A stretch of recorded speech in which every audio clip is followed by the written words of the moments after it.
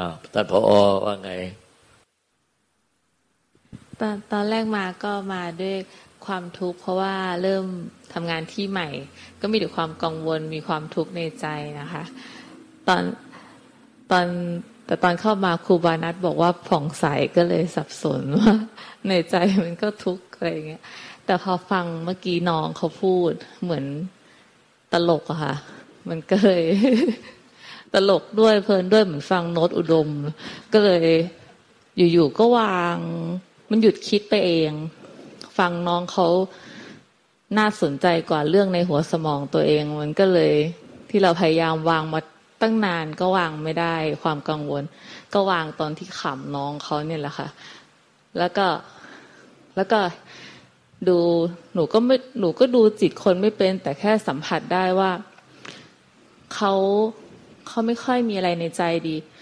คือใจเขาเหมือนเด็กฝ่ายผู้ชายหรือผู้หญิง ผู้ชายฝ่ายผู้ชายคือเหมือนกับว่าเขาเหมือนผ้าขาวดีอะไรอย่างเงี้ยค่ะเขาดูเบาๆดี ต่อให้เขาไม่รู้อะไรเลยอะ่ะ แต่เขาก็คล้ายๆจิตจิตเด็กอย่างเงี้ยค่ะ มันมันก็เลย หนูก็เลยไม่ได้ผ่านสมอง หนูก็เลยแบบเหมือนไปซับเขาเรียบร้อยก็สบายดีอะไรอย่างเงี้ยค่ะ ตอนนี้ก็ พอพอนึกขึ้นมาว่าไอเดี๋ยววันจันทร์ไปทำงาน ก็ก็กังวลเหมือนเดิมอะไรเงี้ยค่ะ แต่ก็คิดว่าทำยังไงให้ให้มันทุกข์มันไม่เข้าถึงใจ ไม่รู้เข้าใจถูกหรือเปล่าค่ะ คือทำทำทำหน้าที่ก็ก็มีแรงก็ทำทำไป แล้วพอใจทุกข์ก็ก็รู้ว่าใจทุกข์ แล้วก็เดี๋ยวเดี๋ยวตัวเองก็จะดิ้นรนดิ้นรนคุกคิกอยู่ในตัว เพราะว่ามันมันคงจะมันก็เป็นตัวเราที่มันทุกข์นั่นแหละ มันก็คงจะวางทุกข์อะไรไม่ได้หรอก ก็แค่เห็นเห็นทุกข์จะทุกไหมคะ มันก็คงจะทุกข์อยู่ในใจอย่างนั้นแหละ จนกว่าว่าเราจะจัดการเรื่องนู้นเรื่องนั้นเสร็จเราถึงก็สบายใจ ก็จะเห็นความสบายใจมาแทนที่ความทุกข์ ก็จะวนไปวนมาเหมือน เหมือนเหมือนทุกสุขสลับกันนั่งเก้าอี้ในใจเรา แต่แต่ก็ยังมีหนูก็ยังมีเก้าอี้ในใจหนูอยู่ค่ะ แต่มันคำว่ามันแยกมันแยกชั้นกันอะไรอย่างเงี้ย ไม่ไม่ได้รู้สึกอย่างนั้น รู้สึกว่ามันก็มันก็อยู่ด้วยกันนั่นแหละค่ะ มันก็อยู่ด้วยกัน แต่แค่เขาแต่เราก็จะรู้ว่ามันอยู่ด้วยกันไปอย่างเงี้ย จนจนตาย ทุกสุข ทุกสุข อยู่กับขันตัวเราเนี่ย แต่มันก็อึดอัดอึดอัดอึดอัดอยู่นะคะขอคำแนะนำหลวงตาค่ะ ชีวิตมันก็อย่างนั้นแน่ชีวิตมันเป็นทุกข์ มันไม่ได้เป็นสุขหรอก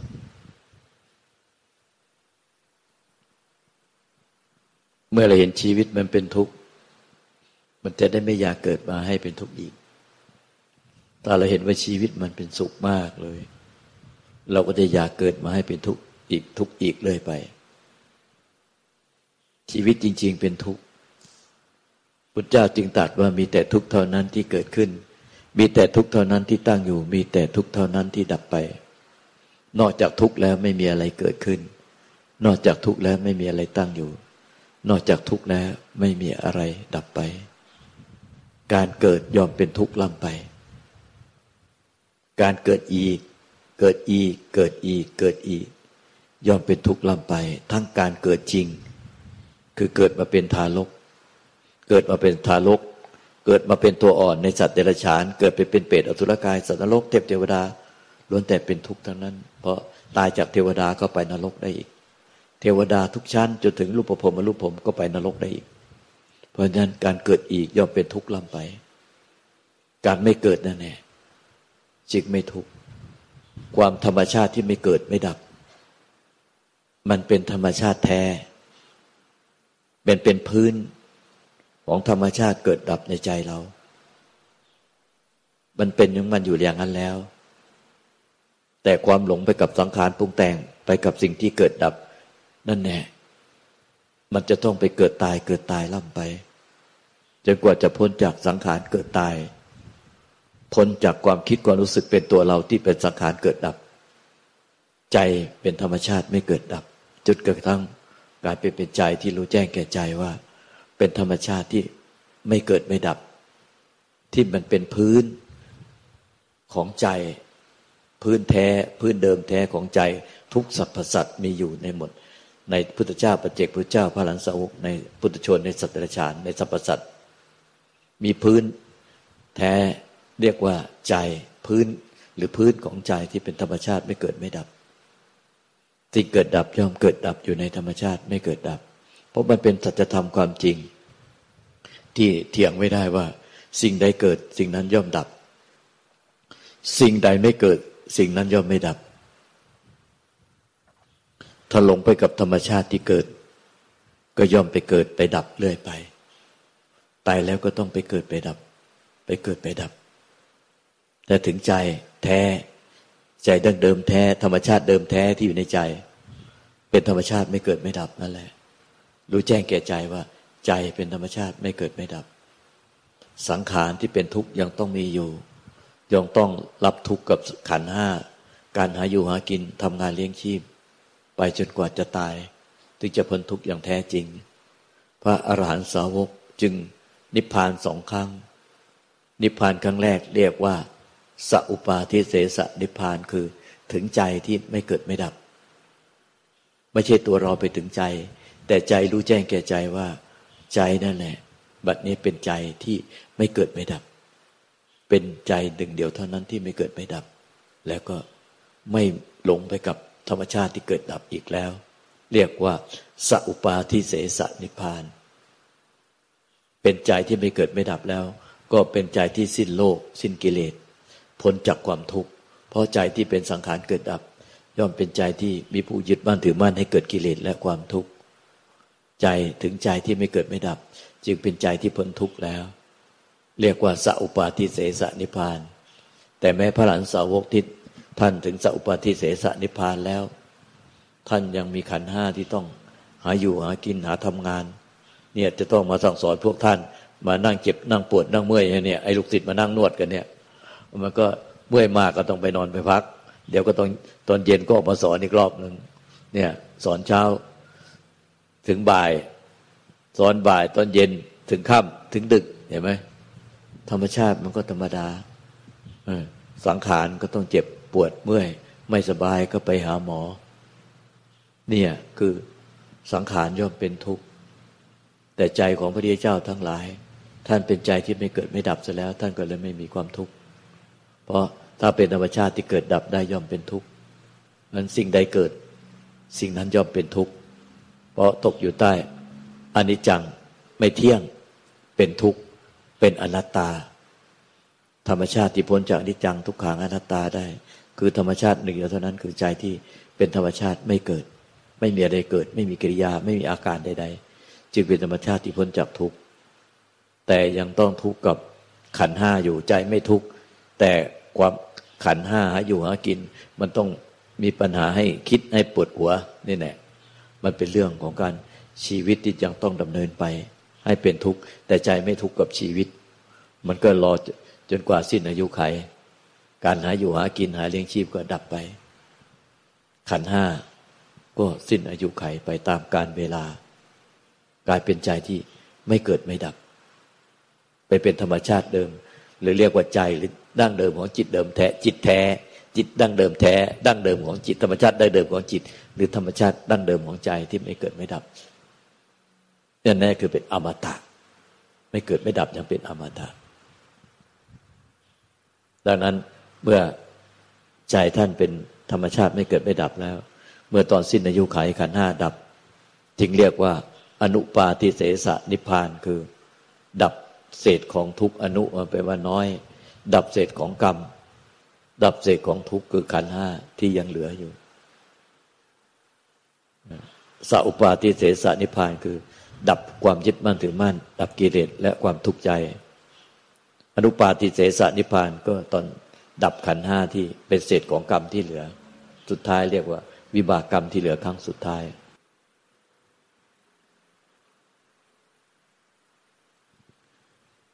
ก็ดับดับความยึดมั่นถือมั่นในใจ คือยึดมั่นถือมั่นในใจที่ใจทุกข์และอยากให้ใจไม่ทุกข์ก็ต้องดับความยึดมั่นถือมั่นอันนี้ด้วยไหมคะ ไม่ใช่ ถ้าพยายามดับความยึดมั่นถือมั่นในใจ ถ้าพยายามดับความยึดมั่นถือมั่นในใจ มันจะมีเอาสังขารที่ปรุงแต่งเกิดดับได้ไปพยายามดับ มันจะกลายเป็นสังขารซ้อนสังขารอวิชาซ้อนอวิชา ตัวตนซ้อนตัวตนไปเรื่อย ๆ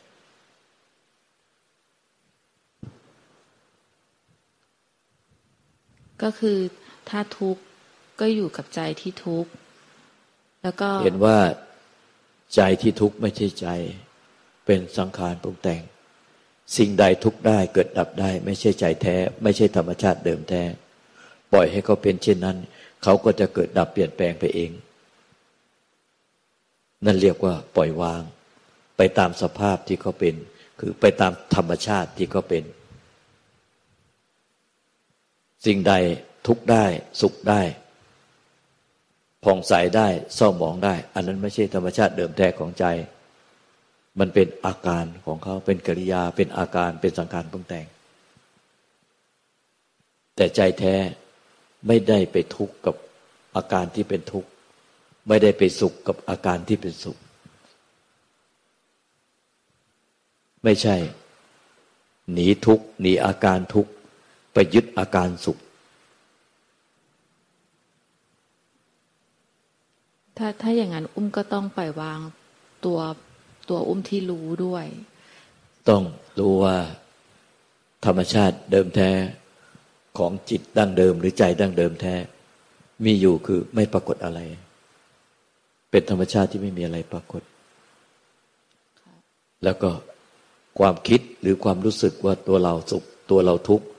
ตัวเราไม่อยากทุกข์ตัวเราอยากทำไมตัวเราทุกข์เหลือเกิน เราหนีอยากออกจากทุกข์ไปหาสุข อันนั้นเป็นธรรมชาติของความปรุงแต่ง เป็นธรรมชาติของความเกิดดับใจแท้ๆจะไม่หลงไปกับ ความยึดบ้านถือบ้านเพราะว่าใจเดิมแท้ยึดบ้านถือบ้านไม่ได้ และทำกิริยาปล่อยวางก็ไม่ได้ พยายามปล่อยวางก็ไม่ได้ จะไปยึดมั่นถือมั่นก็ไม่ได้ ปล่อยวางก็ไม่ได้ ทั้งไม่ยึดมั่นถือมั่นทั้งไม่ปล่อยวาง อันแน่ๆธรรมชาติเดิมแท้ของจิตหรือของใจ ไม่ปรากฏอาการใดๆเลย ไม่ใช่ใจของเราว่างเปล่า เพราะไม่ได้เป็นใจของใคร เป็นธาตุธรรมชาติที่ไม่เกิดไม่ดับ ถ้าเป็นใจของเราจะเป็นธรรมชาติเกิดดับได้ ไม่ใช่ใจเดิมแท้ เพราะสิ่งใดยึดได้ สิ่งนั้นต้องเป็นสิ่งที่มีให้ยึด มันจะเป็นสิ่งเกิดดับ รวมทั้งตัวเราที่ไปยึดก็จะเป็นสิ่งเกิดดับ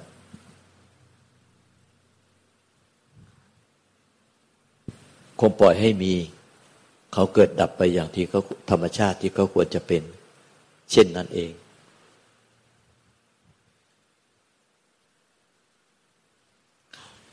เข้าใจแล้วค่ะ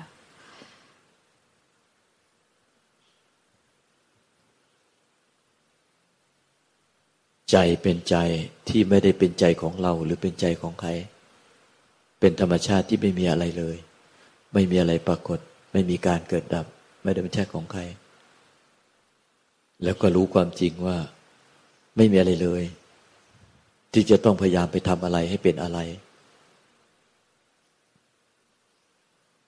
หรือไม่มีใครเลยที่เราต้องไปพยายามที่จะหลุดพ้นออกจากอะไร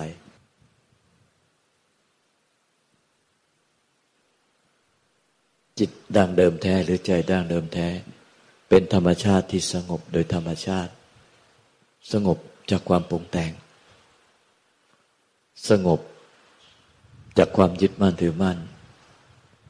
สงบจากอาการ และสงบจากการทำกิริยารู้ละปล่อยวาง เป็นธรรมชาติที่สงบแท้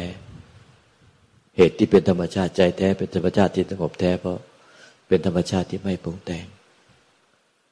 และธรรมชาติที่ไม่ปรุงแต่งที่เป็นธรรมชาติสงบแท้เนี่ย เขาก็ไม่ได้เป็นของใคร ไม่ได้เป็นของของเรา แต่ถ้าเรายึดธรรมชาตินั้นมาเป็นของเรา เราก็เลยเอาธรรมชาติที่ไม่มีเนี่ย ไม่มีอะไรมาปรากฏ เป็นสิ่งที่มายึดไว้ในใจ มันก็จะมาสร้างคันหรือมดลูก ในใจที่ว่างเปล่า แล้วก็มีตัวเราเนี่ย เตรียมเปือนเหมือนเด็กอ่อนเหมือนลูกจิงเหลเล็ก ๆ เกิดอยู่ในคันเตรียมพร้อมที่จะไปเกิดในภพชาติใหม่ต่อไปเรื่อยไป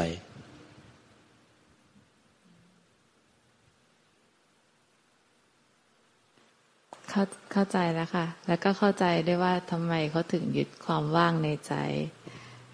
เพราะว่ามันเส้นแบ่งนิดเดียว พอคิดว่าไม่มีอะไรปุ๊บสงบ สงบปุ๊บจำเลย แล้วก็จะหยุดตรงนั้น แล้วก็นั่นแหละก็คือเกิดแล้วใช่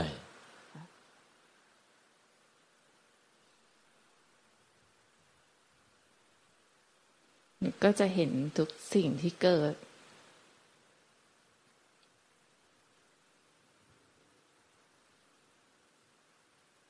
เหมือนกับเห็นเห็นแค่ปรากฏการณ์ค่ะ ปรากฏการณ์ที่เกิดในใจค่ะ โดยโดยไม่ต้องไปรอมันดับ ถ้าเห็นแค่เกิดได้ไหมคะ ถูกแล้ว เพราะมันเป็นธรรมชาติที่รู้แจ้งแก่ใจว่า สิ่งใดเกิดเนี่ยสิ่งนั้นย่อมดับไปเป็นธรรมดา ไม่ใช่ต้องไปเห็นเกิดแล้วไล่ให้เขาดับ เห็นเกิดดับเกิดต้องดับ เกิดต้องดับ แต่รู้แจ้งแก่ใจว่า สิ่งใดสิ่งหนึ่งที่ที่มีความเกิดขึ้นมาปรากฏขึ้นมา ในใจ หรือในธรรมชาติ สิ่งนั้นย่อมเสื่อมไป ดับไปเป็นธรรมดา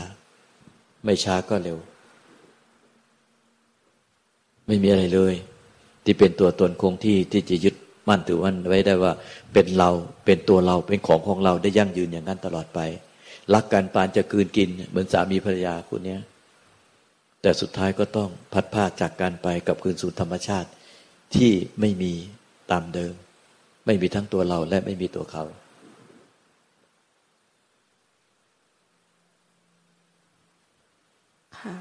เพราะก่อนมีความคิดความรู้สึกเป็นตัวเรา เป็นของเรา มันก็ไม่มีขึ้นมาก่อน แล้วต่อมาจึงมาคิดปรุงแต่งสร้างความรู้สึกมีตัวเรา มีของเราขึ้นมา จากความไม่มี เหมือนเดิมเนี่ยกลางวันเนี่ย ตรงหน้าบันไดศาลาเนี่ย มันยังไม่มืดไม่มีตัวผี พอตกกลางคืนเนี่ย หน้าศาลามืด มันก็ปรุงจากความไม่มีว่า มีตัวผีขึ้นมา มันปรุงขึ้นมาจากความไม่มีเลย ไม่มีอะไรเลย เป็นความไม่มีอะไรเลย เป็นอากาศว่างเปล่าปรุงขึ้นมาเลยว่า มีตัวผีขึ้นมาในอากาศนี่เลยว่า มายืนอยู่ตรงหน้าศาลาพอตกกลางคืนไม่กล้าลงจากศาลา เพราะมันมืด แต่กลางวันเดินลงไปได้ จะเห็นว่ามันปรุงผีขึ้นมาเฉพาะกลางคืน แต่กลางวันบอกว่าไม่มีผีอยู่หน้าศาลา แล้วใครเป็นคนบอกเราว่า ผีมันมาเฉพาะตอนกลางคืน หนังละครที่เขาสร้างใช่ไหมว่าพอตกกลางวันพอถึงเวลากลางวันเนี่ย ผีมันจะโดนแสงแดด เผา มันเลยไม่กล้าอยู่ในเวลากลางวัน เราหลงกับความปรุงแต่งหลงกับสมมติ มายาวนานแล้วก็ปรุงจากความไม่มี มีผีตัวเราขึ้นมา ในโลกในจักรวาลนนี้ แล้วก็ยึดเป็นตัวเราเป็นของของเรา แล้วก็ยึดจริง ทุกจริง ไม่ได้เห็นว่ามันปรุงขึ้นปรุงคิดปรุงแต่งขึ้นมาจากความไม่มี เหมือนปรุงผีขึ้นมาจากความไม่มี แล้วก็ทุกจริงกลัวผีจริง แล้วเสร็จแล้วก็ดับกลับคืนไปสู่ความไม่มี เมื่อรู้แจ้งสัจธรรมว่า มันปรุงแต่งขึ้นมาเอง ความเป็นตัวตนของเราอยู่จริงไม่มี มันปรุงแต่งเหมือนผีขึ้นมาว่าแม้แต่ขันห้านี้ตาย แต่จะไม่ผีตัวเราลอยออกจากร่างนี้ไปอีก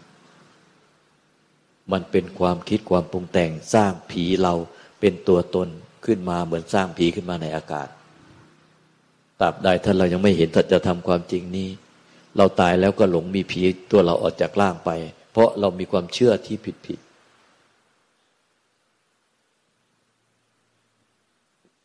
ดังนั้นเนี่ย ผีตัวเรามันจึงไม่เที่ยงเพราะอะไร เพราะว่ามันไม่ใช่ของจริง เมื่อไหร่ที่ผีตัวเรา มันไปยึดติดคนนี้ มันก็เกิดผีตัวใหม่เกิดกับคนนี้ เดี๋ยวผีตัวนี้ก็เป็นนรก เหมือนไฟเผาใจ ขณะจิตต่อมา มีความสุข มีความอิ่มเอิบในบุญกุศลอา้าวผีที่เป็นนรกตายไป ไปเกิดผีตัวใหม่ ไปเป็นเทวดาในใจ มันก็จะสลับแบบนี้ไปเรื่อย มันจึงไม่ได้มีผีใด ตัวใดที่คงที่ เมื่อไรที่ผีในใจเราหมกมุ่นด้วยกาม มันก็เป็นผีสัตว์เดรัจฉานเตรียมตัวไว้สร้างภพชาติ เป็นสัตว์เดรัจฉานตัวน้อยในใจเรา พร้อมที่จะไปเกิดเป็นสัตว์เดรัจฉานในภพจริง ๆ เมื่อไหร่มีความโลภโมโทสันมาก มันก็เป็นเปรตไม่รู้จะอิ่มจากพอ ก็สร้างผีที่เป็นเปรตไว้ในใจเรา ก็ตายจากผีสัตว์เดรัจฉานมาเป็นผีเปรตในใจเตรียมเตรียมไว้ผีเราเนี่ยแน่ผีตัวเรา แต่ขณะนั้นเนี่ยกลายเป็นมนุษย์ แต่ใจเป็นมีผีเปรตตัวเราไว้ในใจขณะจิตต่อมาใจที่มีความโลภโมโทสานเนี่ยกลายเป็นใจที่มีแต่ความโหดร้ายอาฆาตมาดลาย มันก็กลายเป็นอสูรกาย กลายเป็นมนุษย์แต่จิตใจ เป็นผีอสูรกายเตรียมไว้ในใจ เราเนี่ยไปเป็น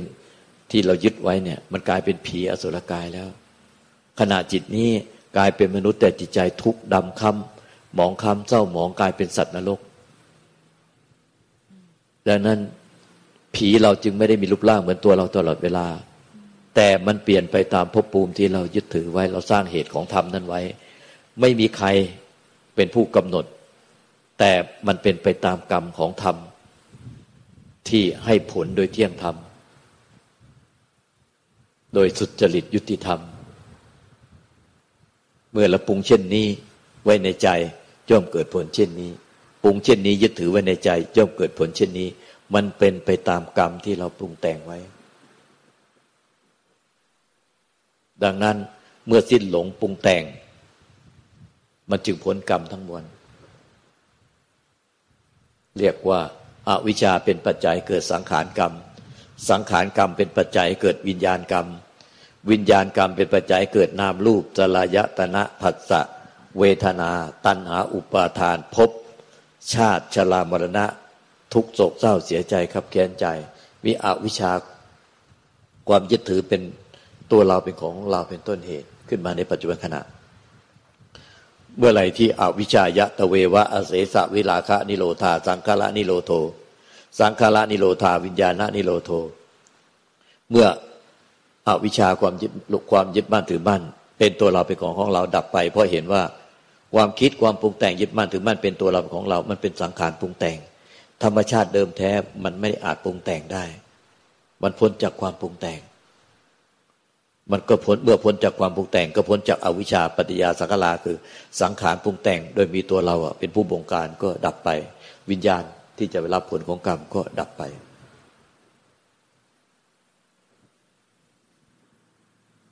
ดังนั้นเนี่ย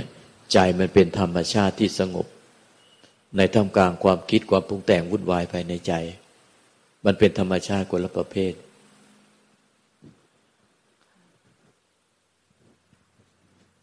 ถ้า ฟังเป็นแบบภพภูมิที่เกิดขึ้นมาในใจก็จะถึงใจมากขึ้นค่ะ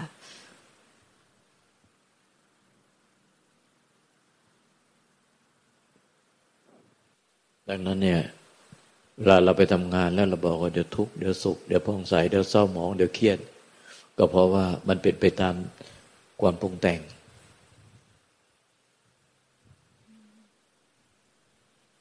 แต่ใจมันเป็นธรรมชาติที่สงบได้ในท่ามกลางความปรุงแต่ง เราไม่สามารถดับความปรุงแต่งได้ ถ้ายังไม่ถึง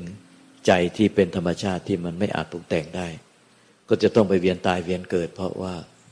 มันจะเป็นเอาวิชาเป็นเหตุให้เปิดปัจจัยสังขารกรรม สังขารเป็นปัจจัยเกิดวิญญาณกรรมที่จะต้องไปเวียนว่ายตายเกิด เพราะมันสร้างภพในใจตลอดเวลาตามความปรุงแต่งยึดถือถ้าสิ้นความปรุงแต่งยึดถือได้ เมื่อไหร่เนี่ยภพที่สร้างไว้ในใจก็ดับไปภพใหญ่ที่จะไปเวียนว่ายตายเกิดก็ไม่มีภพใครเป็นคนสร้างล่ะ ก็ความปรุงแต่งเป็นผู้สร้าง ความคิดความปรุงแต่งเป็นผู้สร้าง ใจเดิมแท้เป็นธรรมชาติที่สงบจากความคิดความปรุงแต่ง ไม่ใช่เป็นอาการสงบ แต่เป็นสงบเพราะเป็นธรรมชาติที่ไม่อาจปรุงแต่งได้ เป็นธรรมชาติที่รู้ความจริงนี้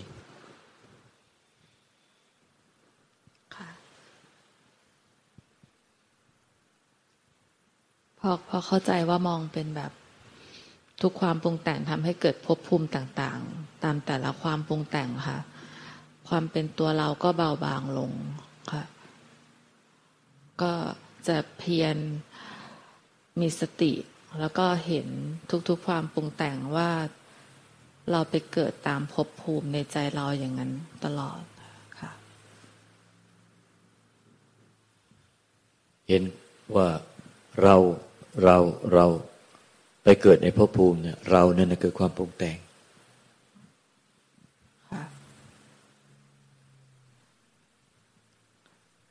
เมื่อใดที่เราเห็นว่าความเป็นตัวเราเราตัวเราของเราในปัจจุบันขณะเป็นความปรุงแต่ง มันก็จะพบใจที่เป็นธรรมชาติ ที่มันไม่ใช่เรา ไม่ใช่ตัวเรา ไม่ใช่ของของเรา ค่ะ หนูก็จะเพียรเห็นเห็นตัวเราในใจที่เป็นแต่ละภพภูมิตามความปรุงแต่งไปเรื่อยๆแล้วก็ต้องเห็นว่าในทุกปัจจุบันขณะที่คิดปรุงแต่งเป็นตัวเรา จะพยายามไปยึดใจที่สงบมาเป็นของเรา อันนั้นเนี่ยคือความปรุงแต่ง ค่ะ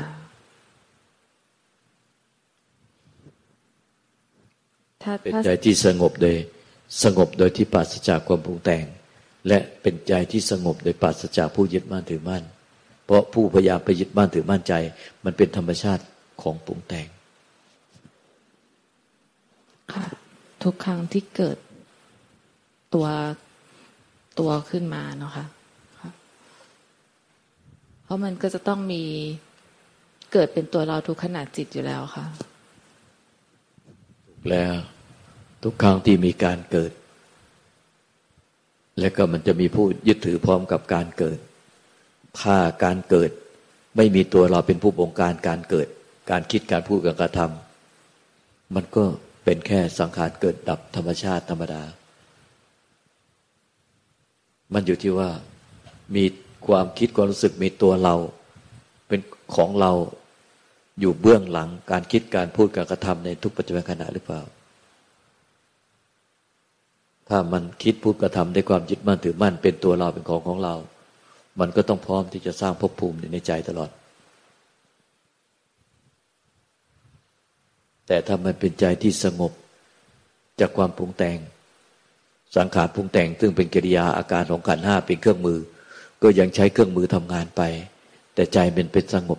จากความยึดมั่นถือมั่นสงบจากตัวตน สงบจากความปรุงแต่ง มันจึงเป็นธรรมชาติที่สงบโดยสมบูรณ์แท้ของเขา แต่ขันห้าเป็นเพียงเครื่องมือที่ใช้ หาอยู่หากินหาเลี้ยงครอบครัวไปจนกว่าจะตายแตกดับไป อันนั้นแน่จึงเป็นใจดั้งเดิมแท้ ที่พ้นจากความทุกข์ทั้งมวล เป็นใจที่สงบ เป็นใจที่ดับ ไฟราคะโทสะโมหะ ดับทิฏฐิมานะ ความจิตบ้านถือมั่นเป็นตัวเป็นตนเสียสิ้น ก็คือถึงใจที่บริสุทธิ์หรือธรรมชาติเดิมแท้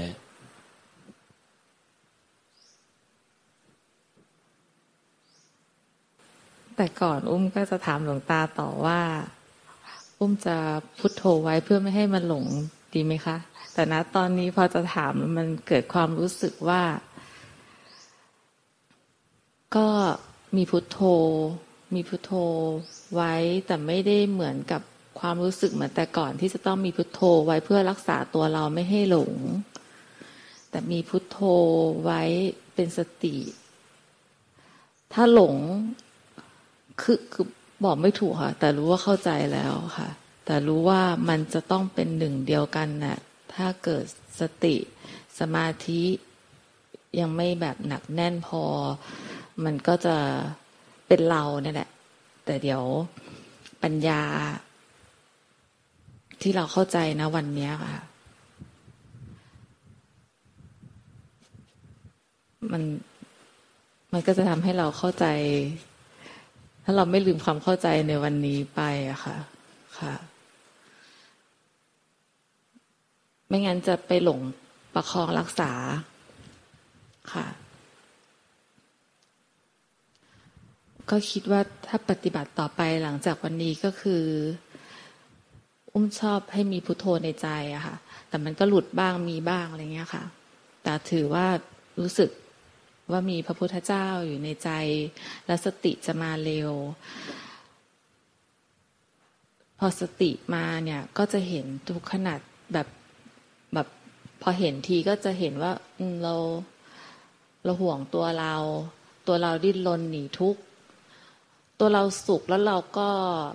ให้มีตัวปล่อยให้มีตัวเราไปเลย พอเวลาสุขเนี่ยปล่อยให้มีตัวเองไปเลย เพราะอยากเสวย แต่ถ้าพอทุกข์ปุ๊บพยายามจะไม่ให้มีตัวเรา หนูก็จะเห็นทุกๆสังขารพวกนี้ค่ะ ว่ามันก็เป็นสิ่งที่เกิด มันเกิดแล้ว ค่ะ ก็แค่แค่เห็นว่ามันเกิดแล้ว แล้วมันก็จะทำงานตามสัจธรรมความจริง เพราะศรัทธาแล้วก็เชื่อ โดยใจมาตั้งนานแล้วว่าจริง ๆก็คือเห็นความตายมาตลอดอยู่แล้วค่ะ แล้วก็ร่างกายต้องตายก็เชื่อโดยสนิทใจ ไม่เคยรู้สึกว่าตัวเองจะไม่ตายอยู่แล้วค่ะ สิ่งที่เหลือก็คือจิต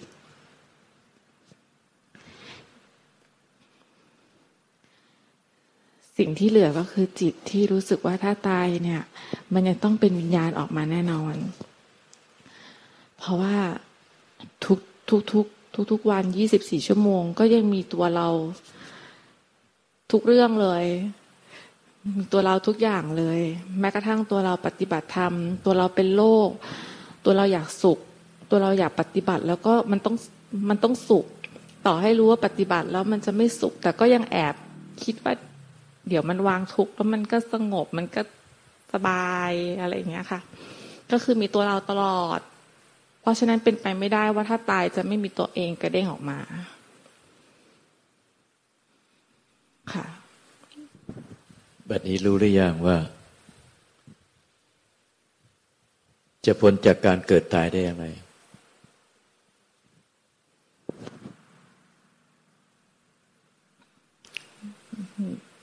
ถ้าพูดเป็นภาษา ถ้าพูดออกจากใจเลยก็คือเห็นเห็นตัวเองเนี่ยนะคะ เห็นตัวเอง แล้วก็ยอมรับว่า มันคือสังขารเกิด มันตอนถ้าเทียบตอนเด็กๆอะ่ะ ก็อาจจะง่ายขึ้นว่าตอนตอนเด็กๆนะก็มีตัวอยู่นะคะ มีมีตัวร่างกายข้างนอกอะ่ะ แต่ไม่ค่อยมีตัวจิตอะ่ะ พอรู้สึกว่าตัวเองไม่ไม่ซับซ้อนเหมือนเด็กคนอื่น แล้วก็ไม่เห็น อยากจะคิดหรืออยากจะพูดอะไรเลยอะไรอย่างเงี้ยค่ะ แต่พอเริ่มโตเริ่มแก่แดดก็จะเนี่ยมีมีคำว่าเราชื่ออุ้มเนี่ย เริ่มมีอุ้มแล้ว อุ้มอยากได้นู่นไม่อยากได้นี่ ไม่อยากเจอนั่นแบบนี้ตอนเด็กๆเเกิดอะไรขึ้น ไม่เห็นมีความเดือดเนื้อร้อนใจอะไรเลย ก็ อยู่ปกติ ก็เลยคิดว่าเนี่ยคืออวิชชาที่มัน มันเกิดมาจนอายุสี่สิบกว่าแล้วเป็นเป็นตัวอุ้มเนี่ยนะคะแล้วมันก็พอร่างกายมันก็ค่อยเสื่อม เดี๋ยวมันก็ตาย แต่ตัวอุ้มเนี่ยจะยังกระเด้งออกมาแน่นอน ก็เลยคิดว่าในชีวิตประจำวันที่เรายังคงต้องทำงาน มันก็ถือว่า มันก็จะมีผัสสะเยอะ มันจะเห็นตัวเองเยอะเราก็จะเห็นความดิ้นรนของตัวเองเยอะ ซึ่งมันก็ดีแล้ว เพราะว่าเวลาจะตายก็ต้องมันก็คงดิ้นอย่างนี้แหละ ถ้าไม่วางตัวดิ้นตอนที่ทุกตอนเป็นเนี่ย ตอนที่ทุกตอนจะธาตุขันจะแตกจะตายมันก็ มันก็ไม่วางอยู่ดีอะค่ะ แค่มโนไปค่ะ หนูก็ต้องยอมให้ตัวเอง ยังไงก็ได้ เพราะว่ามันคือแค่ความโง่ค่ะ ของของจิตที่มันมีเราอะความโง่สังขารจิตที่มีตัวเรา มันก็เป็นสิ่งเกิดดับ เพราะมันเป็นธรรมชาติของการเกิด เป็นความมีขึ้นมาในใจเรา เมื่อมันเป็นสิ่งที่มีขึ้นมา มันก็ไม่ใช่ธรรมชาติที่คงที่ เขาก็ต้องดับไปของเขาเอง ปัญหาใช่เป็นตัวตนคงที่ไหมจึงไม่มีใครต้องออกจากร่าง ไม่มีอุ้มที่จะต้องออกจากร่างไป เมื่อขันห้านี้ถึงแก่ความตาย เพราะความคิดความรู้สึกว่าเป็นอุ้ม เป็นตัวอุ้ม จิตใจนี้เป็นของอุ้ม ความคิดความรู้สึกนี้ มันก็เป็นสิ่งเกิดดับ เป็นสิ่งที่เกิดมาแล้วก็ต้องดับไปเป็นธรรมดา เพราะธรรมชาติที่เกิด ก็เกิดขึ้นมาจากความไม่มีอะไร เป็นความไม่มีไม่มีอะไรเกิด แล้วก็ธรรมชาติที่เกิดมาเกิดก็เกิดดับอยู่ในธรรมชาติที่ไม่มีอะไรเกิดดับ ไม่มีอะไรเลยไม่ปรากฏอะไร นั่นแหะคือธรรมชาติเดิมแท้ ซึ่งไม่มีตัวอุ้ม ไม่มีอะไร ไม่มีผีตัวอุ้มต้องลอยจากล่างไป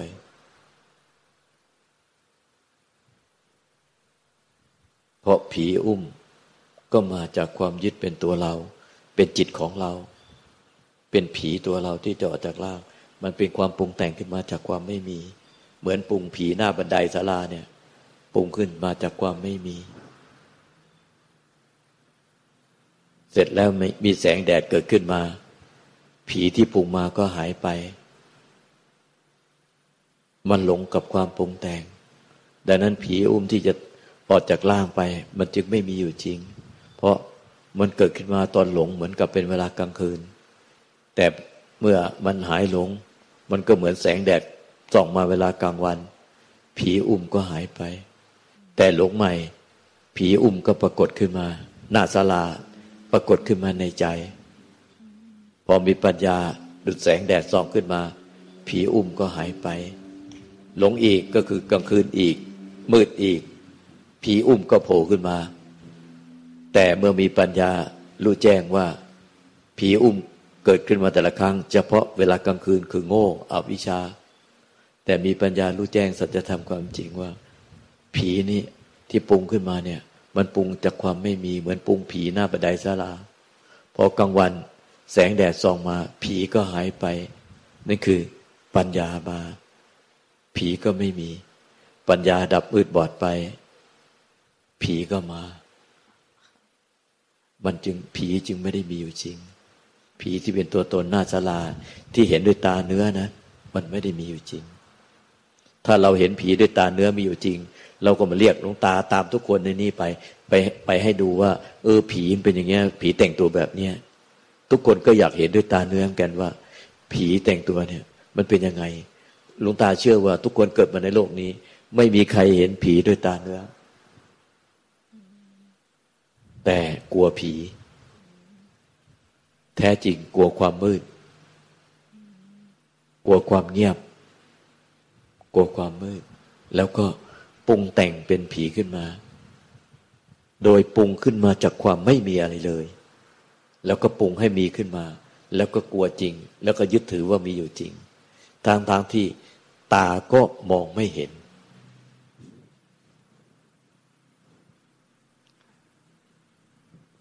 เราปรุงผีเป็นตัวเราขึ้นมาจริง ๆ ยึดจริง ๆ ในใจเรา แล้วยังเชื่ออีกว่า ถ้าตัวเราตายแล้วจะต้องมีผีตัวเราออกไป แน่นอน ตามทางที่ตาก็มองไม่เห็น แต่กับเชื่อว่ามันมีอยู่จริง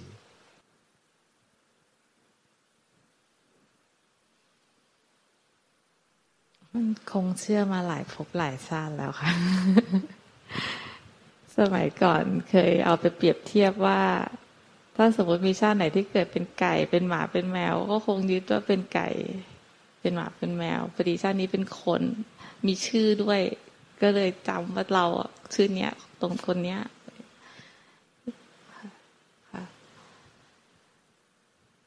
ก็เลยทุกข์หรือทำทุกอย่างก็เพราะห่วงตัวนี้แหละค่ะ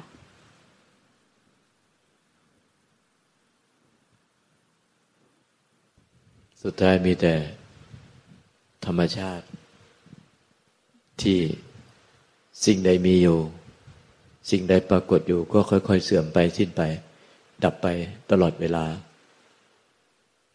สิ่งใดไม่มีสิ่งใดไม่ปรากฏก็คงเป็นอยู่เช่นนั้น ใจเป็นธรรมใจเดิมแท้หรือจิตดั้งเดิมแท้ เป็นธรรมชาติที่ไม่มีอะไรปรากฏ ไม่มีทั้งความยึดมั่นได้ ไม่มีทั้งกริยาปล่อยวาง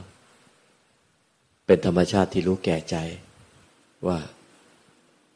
ธรรมชาติเป็นอยู่แค่นี้แน่สิ่งใดเกิด สิ่งนั้นย่อมเสื่อมไป ดับไปเป็นธรรมดา แต่ในความเกิด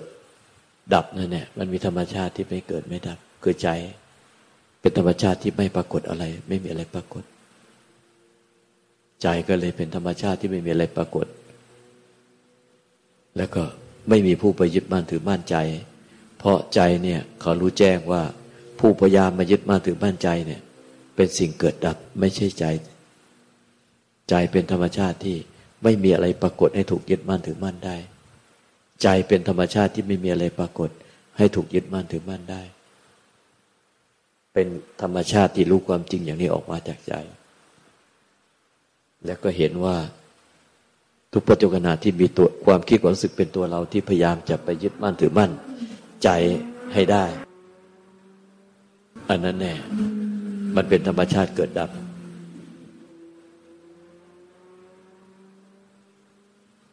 เมื่อเห็นว่าผู้พยายามยึดมั่นถือมั่นใจ หรือตัวตนของเราที่ไปยึดมั่นถือมั่นสิ่งใดเป็นสิ่งเกิดดับซะแล้ว ใจมันก็เลยเป็นธรรมชาติที่ ไม่เกิดไม่ดับของเขาอย่างนั้นเนี่ย โดยไม่มีใครหลงไปยึดมั่นถือมั่นเขาตัวสังขารที่ชีวิตที่ต้องดำเนินไปก็เป็นธรรมชาติที่เกิดดับไป ตามธรรมดาค่อยๆ แก่ไป เสื่อมไปและดับไปเป็นธรรมดา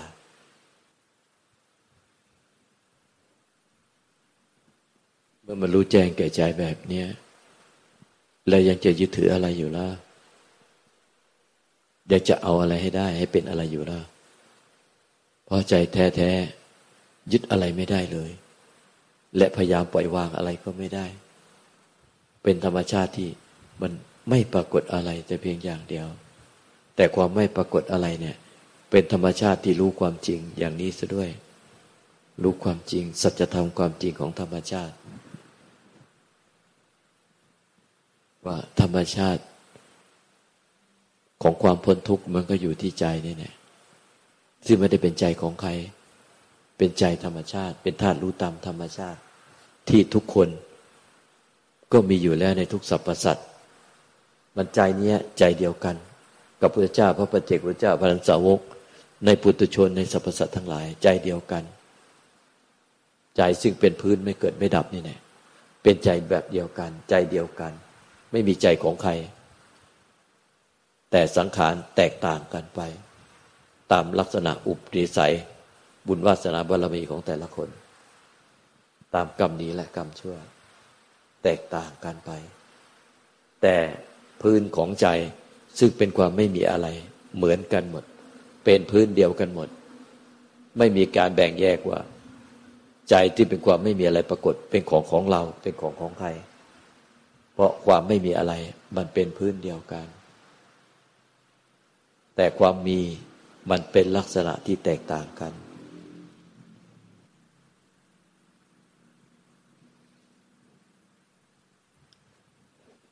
ทุกๆขณะจิตจะมีแค่ความมีเกิดขึ้นตลอดเวลาใช่ไหมคะ ใช่แล้ว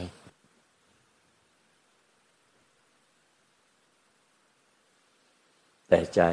ไม่ใช่ความมี ไม่ใช่ความปรากฏตลอดเวลา แต่ไม่มีใคร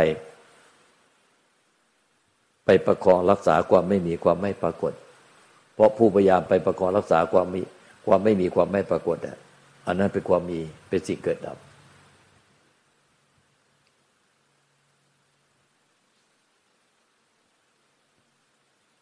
ที่มาเช้าหมอเดม เข้ามาหาหลวงตาที่มาถาม ท่านเดียวเนี่ยก็ตรงนี้เหมือนกัน ที่หลวงตาก็บอกว่า หลายคนก็ยังติดอยู่ตรงนี้ หลายคนพยายาม ประคองรักษาใจที่เป็นความไม่มีอะไรไว้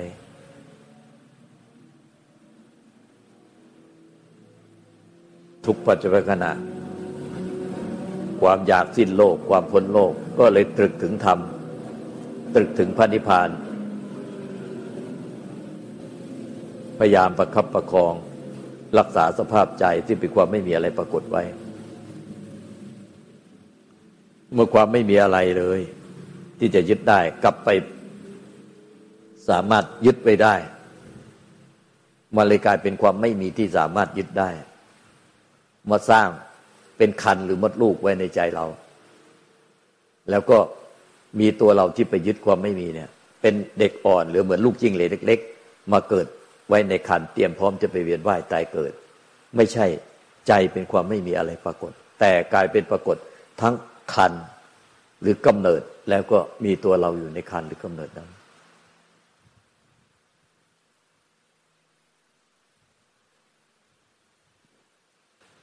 หนูว่าหนูเข้าใจอะถูกต้องแล้ว เข้าใจด้วยใจ มันไม่ได้เข้าใจด้วยสมอง แต่มันเข้าใจด้วยใจรู้ด้วยใจ ว่าอะไรเป็นอะไร